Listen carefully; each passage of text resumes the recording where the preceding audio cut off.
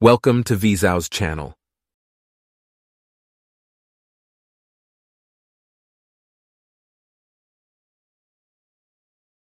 Are you ready to learn how to export a step file from SOLIDWORKS?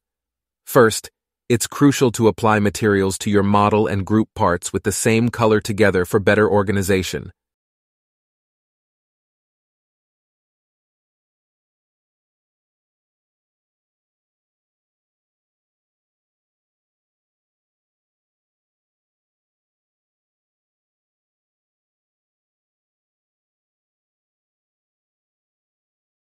To begin exporting, navigate to File and select Export As, then choose Step AP214 as the file type.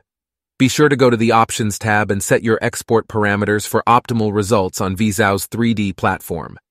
Remember to save your file and avoid resolving any hidden parts for the most accurate export. Exporting a step file from SOLIDWORKS has never been easier. Thanks for watching.